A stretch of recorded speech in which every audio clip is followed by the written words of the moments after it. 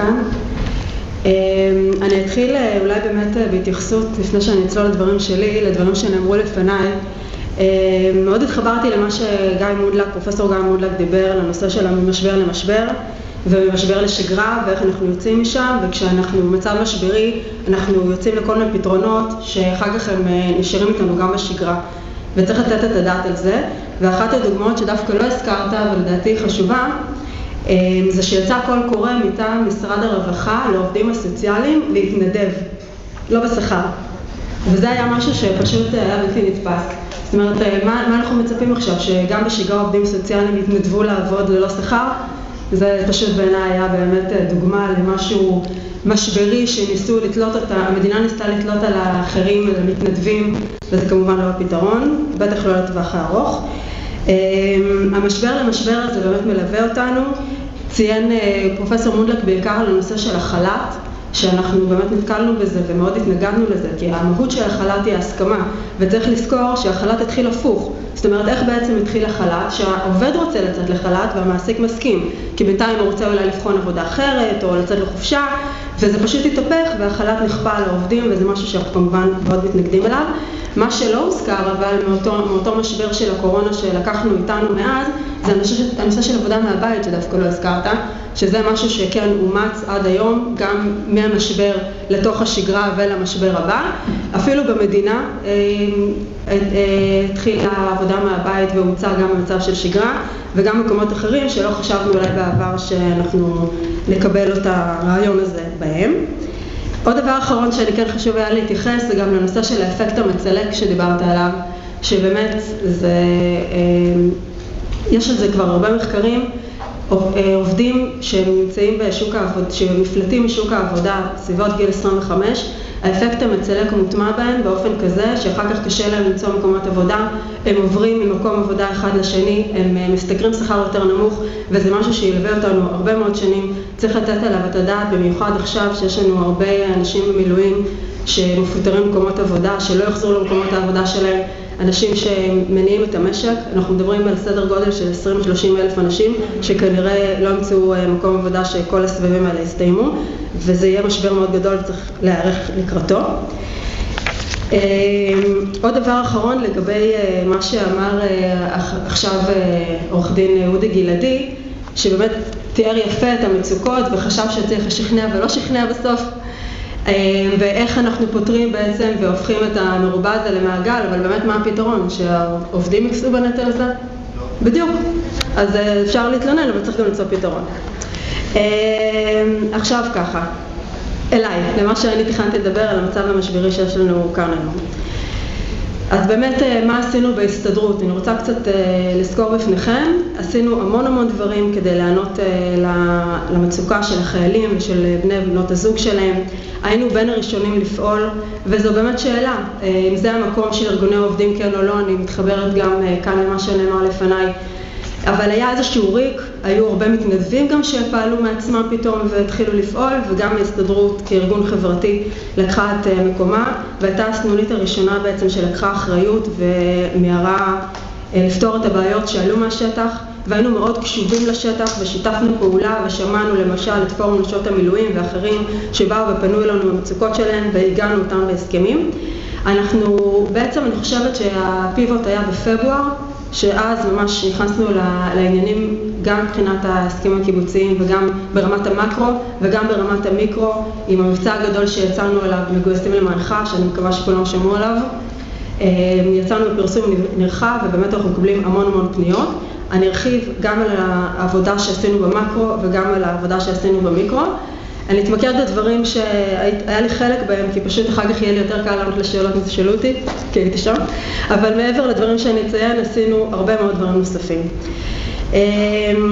אז קודם כל באמת מה שעשינו משנים רבות קודם לכן שהיו מלחמות ומבצעים נתפסנו לתקנות מס רכוש ורכבנו עליהן פרופסור גיא מודלה גם פה ציין שיש כל מיני שיטות להסדיר את הנושא הזה דרך ביטוח לאומי או דרך תקנות מס רכוש וכולי והשיטה שאנחנו עובדים בה מול המדינה ומול המעסיקים לאורך כל השנים זה דרך תקנות מס רכוש גם עורך דין גלעדי סקר את הפסיקה, את ההסכמים הקיבוציים שנחתמו בהקשר הזה. באמת העיקר היה או דרך מחזור, מחזור העסקים, או דרך שכר העבודה. ושם אנחנו בעצם הסדרנו את התשלום לגבי עובדים שנאלצו להיעדר מעבודה בגלל סגירת מקומות החינוך והמפונים וכיוצא בזאת. ובנוסף לזה אנחנו גם יצרנו בהסכם מאוד גדול בחודש מרץ שזה הסכם שהרחיב את ההגנה, זה, זה הדבר שידוע יותר בו, הרחבת ההגנה מפני פיטורים של אנשי המילואים והיו עוד דברים שעשינו בהסכם הזה. ההסכם הזה נכנס לתוקף מה-6 למרץ בתוקפו עד, שנות, עד, עד סוף שנת 2024 מעניין לציין בעניין הזה איך, איך, איך זה התגלגל שצווי הרחבה בעצם שניתנו לו הם בהליך מקוצר. למעשה אנחנו, ההסכם הזה הייתה דחיפות מאוד מאוד גדולה שייכנס לתוקף. בעבר כבר התרגלנו לזה שצווי הרחבה לאותם הסכמים שהרחיבו ונצמדו לתקנות מס רכוש הם ניתנו הרבה אחרי, אפילו שנה אחרי שהמלחמות והמבצעים הסתיימו והייתה על זה ביקורת מאוד מאוד גדולה, אנחנו גם היינו בדיונים בכנסת בחלק מהנושאים האלה ואנחנו היינו בין אלה שדחפו בעצם לקצר את התקופה.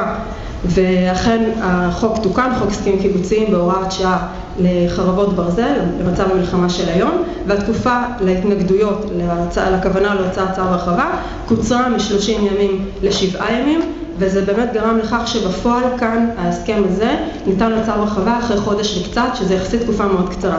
עדיין יש כאלה שנפלו בתקופה הזאת אבל זה הליך מאוד קצר לעומת חצי שנה ואף שנה שהיו במקרים הקודמים.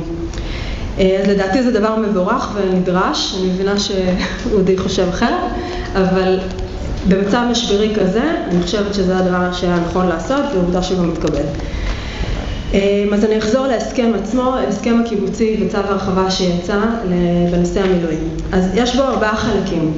החלק הראשון, כמו שכבר ציינתי, הארכת תקופת איסור הפיטורים מ-30 ימים ל-30 ימים נוספים, אלא אם כן הם הותרו על ידי ועדת הפיקוח. מה זו בעצם ועדת הפיקוח? זה דומה לוועדות התעסוקה שאנחנו מכירים, הדיון הוא דיון דומה והעילות הן עילות דומות.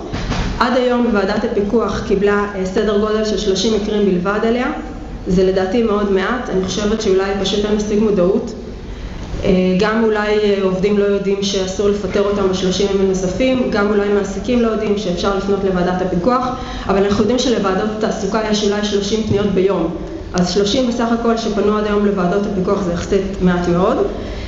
17 מתוך המקרים שהגיעו לוועדה היו בהסכמה מול העובד וכל הדברים האלה אושרו. חמש בקשות לא מוסכמות נדחו, אחת אושרה ואחת הופנתה לוועדת התעסוקה כי הייתה שייכת לתקופה של השלושים ימים הקודמים.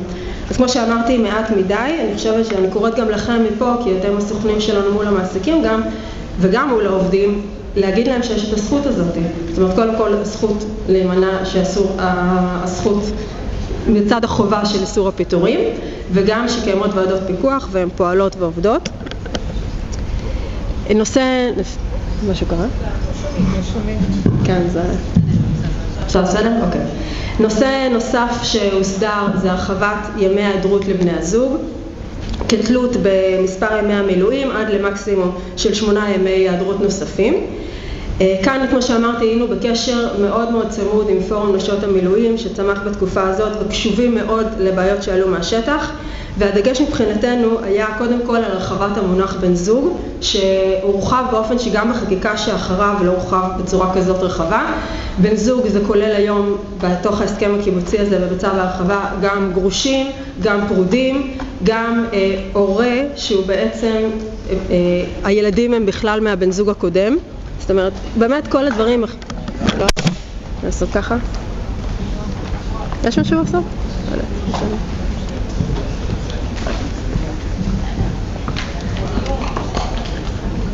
ובאמת זה בצורה הרחבה ביותר שאפשר להעלות על הדעת, כל איזשהו סוג ו... כל איזשהו סוג של בן זוג ולא רק מה שהכרנו בעבר ידועים בציבור, עם שלוש שנים וכולי נכנס לתוך המערכת הזאת. הרחבנו את ההיעדרויות גם לנושא האקוטי של השגחה וטיפול בילדים וגם לנושא של מה שכונה הסידורים ומעבר לזה גם יש סעיף סל שעם כל הסכמה שמגיעים עם המעסיק אז כל היעדרות נוספת גם. ומה שעוד היה חשוב לפורום נשות המילואים בהקשר הזה זה שהניצול של השעות הוא גם יהיה לפי שעות ולא בהכרח יום מלא. ואני חושבת שבשלושת הפרמטרים האלה שנלחמנו עליהם באמת אנחנו נתנו מענה לדברים שעלו מהשטח הגדלנו גם את החלת הזכות להיעדרות שקיימת היום מכוח חוק עבודת נשים, יש זכות להיעדר שעה ביום כשבן הזוג או בת הזוג נמצאים במילואים. הגדלנו את זה גם אה, למקרה שעלה מהשטח של נשים שנמצאות בכמה משרות חלקיות שביחד מגיעות לכדי משרה מלאה. וצבירת חופשה שנתית, שזה גם משהו שנדרש, מעבר לשנתיים המותרות היום על פי הדין, גם את זה אודי הזכיר. אה, אבל אנשים לא יכולים לנצל חופשות כי הם מפונים, כי הם במילואים וכולי, אז אה, לדעתי, ובאמת זה רק אה, מתקבל על הדעת שאפשר יהיה לנצל את החופשה הזאת גם בהמשך. נתקלנו בשאלות פרשניות כבר לגבי ההסכם הזה ולגבי צו ההרחבה ועתיד לצאת בקרוב מאוד גילוי דעת מטעם משרד העבודה שנעשה בשיתוף של ההסתדרות וארגון המעסיקים לשאלות שעלו מהשטח לפרשנות של ההסכם. אני כבר, יש שם כמה דברים, אני אתן אה, שני דברים שכן עולים שם, שחשוב לדעתי כבר שתדעו. אה, קודם כל, תכולת הצו על הזכות מהיעדרות, הזכות להיעדר, היא גם כן למי שבמשרה חלקית. חשבו שאולי בגלל ההפניה למשרה חלקית, שזה מבלבל אולי, לדעתי זו פרשנית יצירתית של מעסיקים וזה לא באמת מבלבל, אבל חשבו איכשהו שזה לא חל גם על אה, מישהו במשרה חלקית, אז אנחנו מבהירים שזה כן חל. והבהרה למונח קלנדרי הזכות בעצם להיעדרות אה, לפי ההסכם היא לא חלה על מי שיש לו 35 ימי חופשה אה, שנתית קלנדריים. ועלתה פה שאלה מתחכמת האם קלנדרי זה כולל צבירה שכבר צברת ולא ניצלת זאת אומרת אם יש לך זכות קלנדרית של 20 אה, ימים למשל אבל לא צו... ויש לך עוד בצבירה עוד וזה עולה על 35 ימים אז האם אתה כן זכאי או לא זכאי? התשובה היא שכן זכאי, 35 ימים קלנדריים זה כמו שאתם יודעים שזה קלנדרי אז לא צריך להתחכם אנחנו יודעים מה זה קלנדרי אבל גם מי שמנסה להתחכם יהיה גילוי דעת ואתם תדעו בדיוק מה זה קלנדרי. אמ, חשוב לציין גם שההסכם הזה הוא מחריג את המגזר הציבורי אבל גם אומץ על ידי המגזר הציבורי בהבדל יחיד שקודם כל אנחנו לא גוזלים מזכויות היעדרויות, מזכות לצבירה שנתית שקיימת, אה, מורחבת במגזר הציבורי והיא עדיין קיימת ונשמרת אה, זה הזכויות העודפות שנשמרו והוועדה, במקום ועדת הפיקוח, במדינה יש לנו ועדה פריטטית של נציב, אה, של הנציב אה, במדינה ושל הסתדרות עובדי המדינה. היום, עד היום הוועדה הפריטטית בכלל לא הופעלה. אז שתדעו שלא יהיו שום פניות אלינו. נגמר לי? דקה. טוב.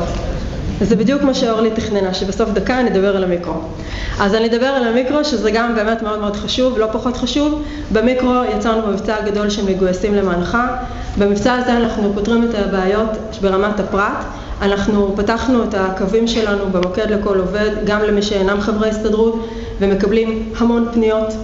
אה, גם במישור המשפטי וגם לא במישור המשפטי, אפילו ברמה של סלי מזון לאנשי מילואים שהגיעו לכך וההסתדרות אה, מספקת להם, לצערנו, בעיות של סטודנטים וכולי, ובמישור המשפטי אנחנו מקבלים המון המון פניות, כמו שאמרתי, גם לאוכלוסיות שאנחנו לא רגילים אליהן, גם לאוכלוסיות שכן, מקומות שהם מאוגדים, אנחנו באמצעות האיגודים בדרך כלל פותרים את הבעיות, אפילו של עובדי מדינה קיבלנו ודברים שקשה היה להאמין שנגיע אליהם, אבל הרבה במגזר הפרטי עובדי הייטק, רואי חשבון, עורכי דין, אנשים בכירים במשק, ש...